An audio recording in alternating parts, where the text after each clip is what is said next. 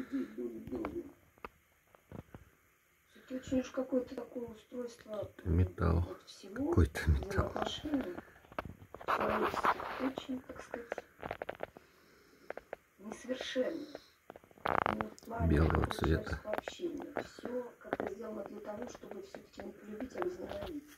Самое опасное, мне кажется, распущенность со всеми вытекающими отсюда причинами, входящими причинами и вытекающими последствиями отсюда. Вот распущенность.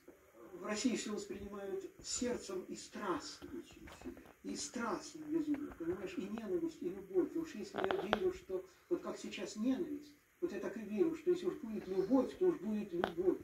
В своих письмах вы часто просите, чтобы мы вам показывали съемочную площадку, то есть процесс съемки фильмов. И, видимо, это для вас очень интересно. И вот в следующем сюжете мы как бы убиваем двух зайцев.